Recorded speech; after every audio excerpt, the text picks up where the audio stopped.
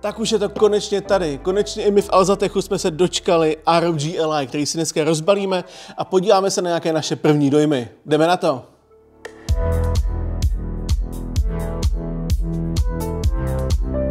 Za posledního půl roku, možná i rok se na trhu s handheld konzolemi objevilo tolik nových zařízení, že by to dalo za toho půl roku možná víc konzolí, než za celý život, co já osobně pamatuju. Asi největší mainstream je Nintendo Switch, eh, měli jsme tady i Aya Neo, One X Player, měli jsme tady i nějaký různý čínský podivnosti a tak dále. Asi nejvíc mainstreamovou konzolí, co se týče nějakého PC hardwareu, je Steam Deck, který tady shodou okolností máme taky a určitě se můžete těšit nejenom na jeho recenzi, ale na přímé srovnání s ROG Ally a na obou konzolkách si asi živě zahrajeme něco podobného. Budou to hezký videa. Dneska ho tady máme čistě, abychom se podívali, jaké jsou fyzické rozdíly, designové rozdíly a tak dále a tak dále. Dost ale bylo řečí, pojďme si to rozbalit, já se toho nemůžu dočkat. Už jenom podle toho, že se krabička dá jednoduše odklopit, je mi jasný, že nejsem asi úplně první člověk, člověk, co se do té krabičky dostával. Pojďme se ale podívat, já jsem fakt nedočkavý. Tak. Oh, yes! Yes, to vypadá... Já jsem měl možnost si na ně asi dva, tři dny zpátky šáhnout na Zenbookový akci, nicméně takhle, když ho mám na chvilku pro sebe, to je naprostá pecka. Musím říct, že je mnohem lehčí, než jsem čekal. Vypadá teda vodost lépe než na rendrech, abych řekl pravdu. Oproti tomu Steam Decku, na to se potom ještě podíváme, je určitě menší a lehčí. Rozhodně je tenčí ale vypadá, vypadá skvěle, vypadá skvostně a jsem velice rád, že to Asus udělal v bílé barvě, protože to působí za mě asi trošku víc gamersky. Nicméně, když už jsme u té bílé barvy, tak tady máme i na ukázku nový ROG Cetra True Wireless v bílé barvě.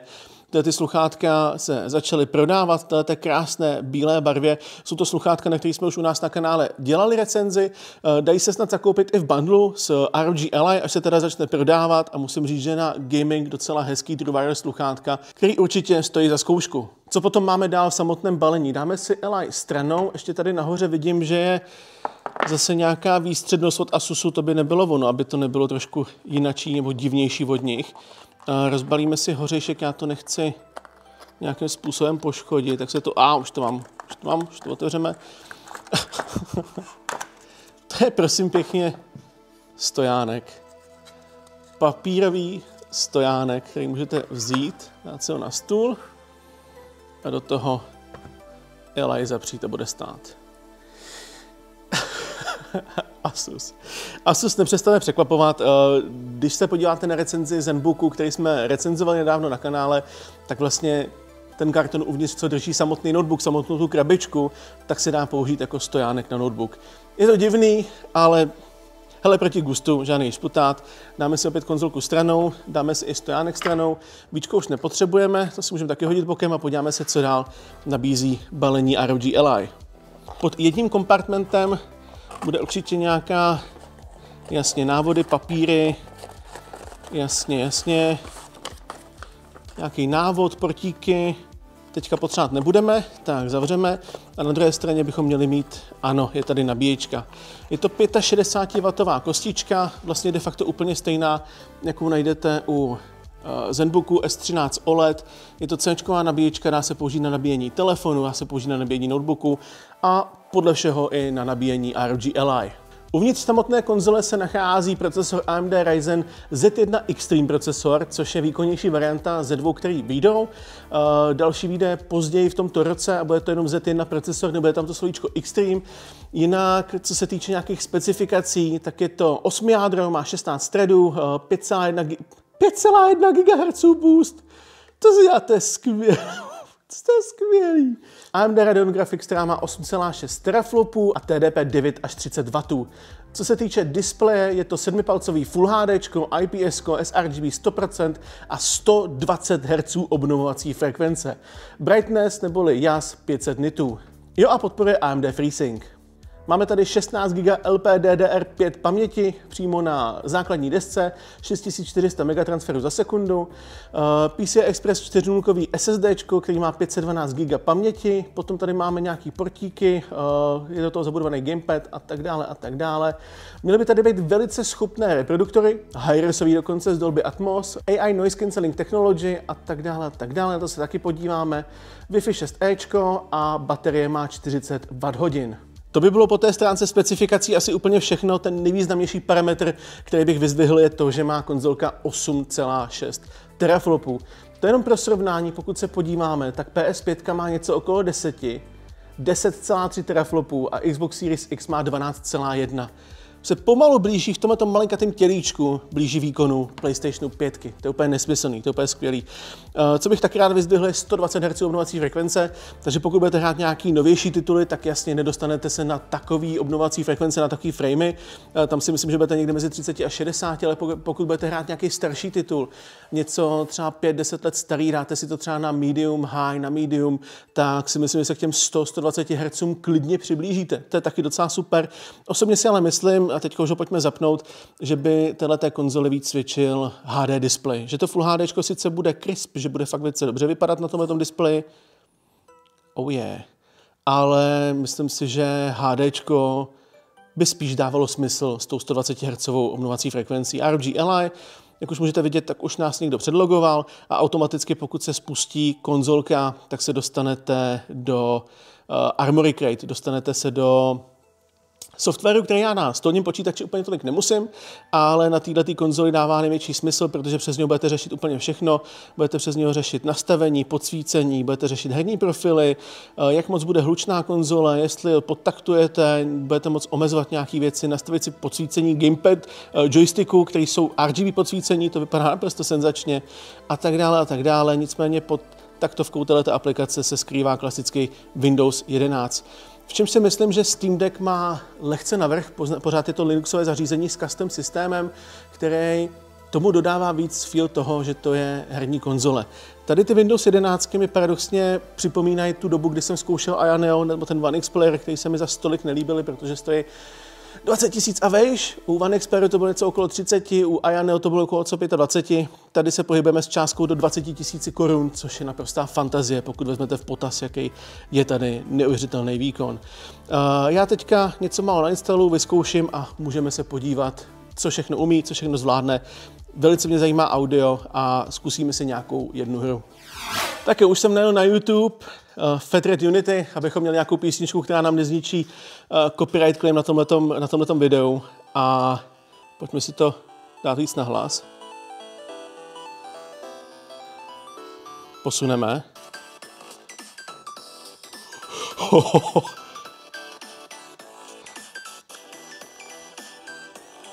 Pojďme ještě víc.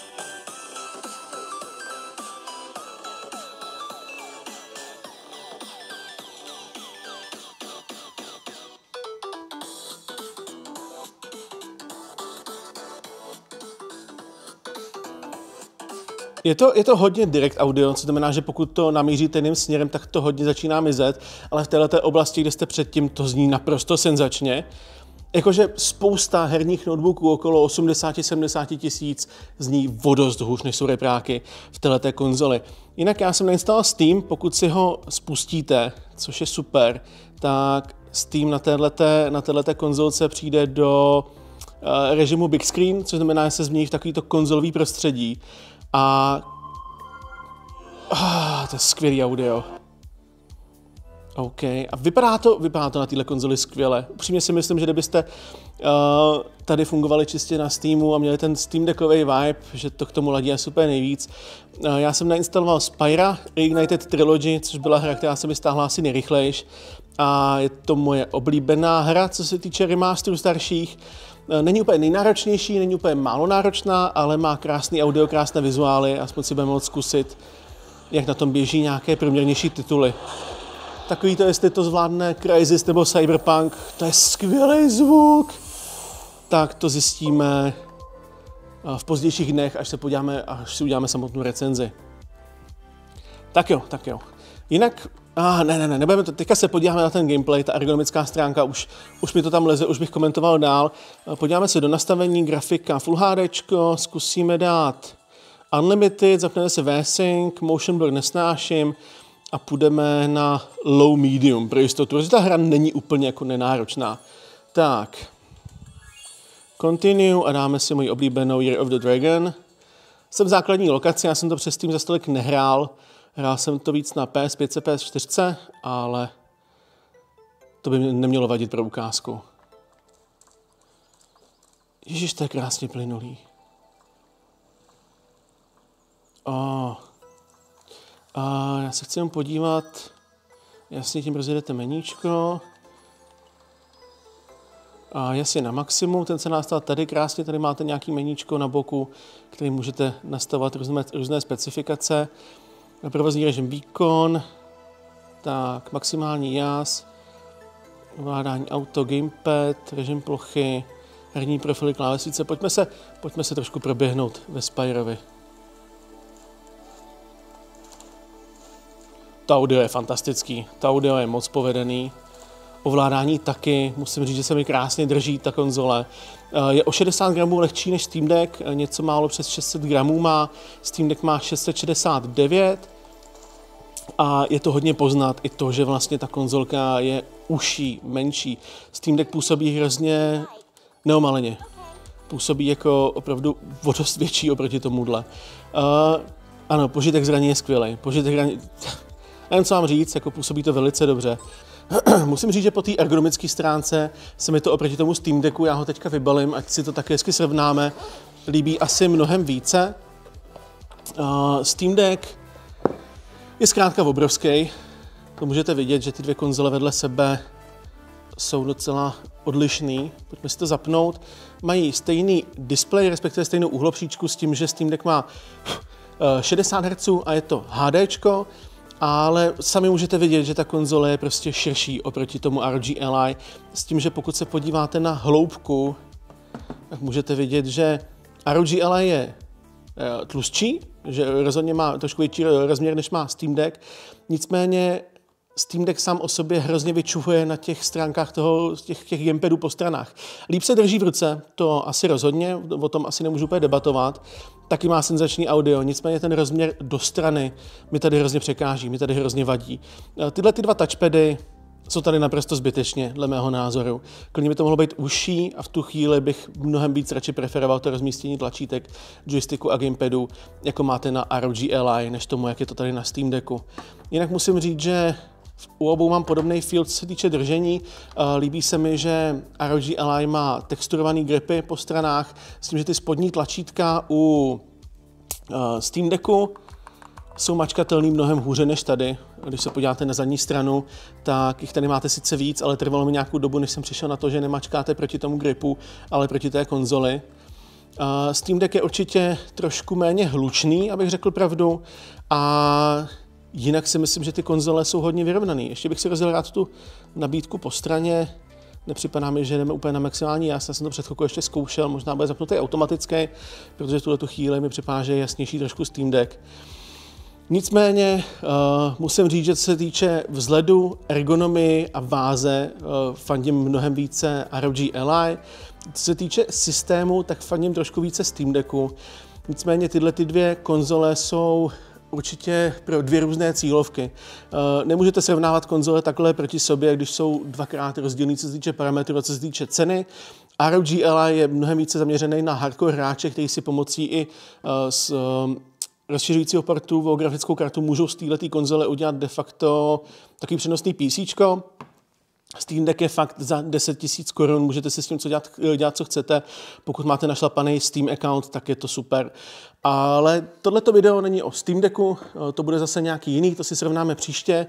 Musím říct, že moje první dojmy z ROG Ally jsou fantastický, hrozně moc se mi líbí display, líbí se mi audio, to je naprosto famózní. 120 Hz je poznat i při tom používání, pokud jste na ploše, pokud jste v Windowsu a tak dále. Po té stránce designu a ergonomičnosti rozhodně vítězí oproti Steam Decku a musím říct, že jsem od toho čekal trošičku méně, dostal jsem mnohem více, už jen od těch prvních dojmů. Ještě bychom se rychle mohli projet, co nejdete na každé straně. Zepředu je to klasický gamepad, tady máte reproduktory, různé tlačítka pro Armory Crate, nabídky ve hře a tak dále. Nahoře klasický LT, LB, RB, RT. Potom tady máte hlasitost, slot na microSD kartu, combo audio, mikrofon jack, eh, nastavení hlasitosti, eh, port, eh, který můžete nabíjet, tady je C, s tím, že sem se dá zapíchnout externí grafika a potom tlačítko na zapnutí, který funguje i jako čtečka otisku prstů. Na zadní straně potom máte dva butny, navíc, který můžete customizovat, jak potřebujete. Krásný lesklý proužek, s tím, že na každé straně máte nasávání vzduchu a výfuky tady nahoře pro chlazení jak grafiky, tak procesoru. S tím, že nevím, jestli se do něho dostaneme, jestli se do něho budu dobývat, abychom se podívali na vnitřek. Je to krásná kompaktní konzolka, kterou bych si asi na cesty vzal spíše než ten Steam Deck. Myslím si, že na mé první dojmy je to více než vyčerpávající. 100% očekávejte recenzi jak Steam Decku, tak samostatného ROG Ally. Určitě bude srovnávací video těchto dvou konzolí a myslím si, že bychom si mohli živě na nějakém streamu vyzkoušet, jak tyhle ty konzole fungují. 100% se ROG Ally bude líp benchmarkovat, protože to je v základu Windowsácký systém, takže můžu pustit eh, Sandbatch, můžu pustit 3D Mark, můžu vyzkoušet rychlosti disku, můžu reálně změřit teploty a tak dále. Když to na ten Steam Deck si asi budu muset vzít nějakého Caterpillara, vyzkoušet si, kde všude prozařuje teplo. Ode mě je to pro dnešek tuto chvíli asi všechno. Jestli bych mohl něco málo vytknout v těchto prvních dojmech, tak je to to, že Steam dodává ke svému uh, Steam Decku, nebo Valve dostává, dodává ke svému Steam Decku krásný přenosný pouzdro a to je něco, co mi tady hrozně chybí. Jinak nabíječku máte v obou systémech a radši bych místo kartonového stojánku viděl nějaké pěkné pouzdro, který si potom nebudete muset dokupovat separé. Jinak jsem velice spokojený, jsem z toho nadšený jak malý dítě, protože je to de facto všechno, co gamer může chtít, malinkatým podání. Pokud jste gamepadový, pokud rádi hrajete s joystickama, pokud vám FPS nevadí na joysticku, tak to pro vás bude úplná ideálka. Já už bych se pomalu rozkecal na další půl hodinu, už teďka si myslím, že to bude hodně vyčerpávající po těch prvních dojmech. To je ode mě opravdu pro dnešek všechno. Pokud se vám video líbilo, tak palec nahoru, odběr zvoneček znáte to, mějte se fantasticky. Napište mi, co byste rádi chtěli, co byste rádi chtěli vidět třeba na streamu herním, co hrajeme na Eli, co hrajeme třeba na Steam Decku a tak dále. A my se to pokusíme jak zpracovat nebo dát třeba do benchmarku na testování samotné konzole. Mějte se fantasticky a zatím ahoj ahoj.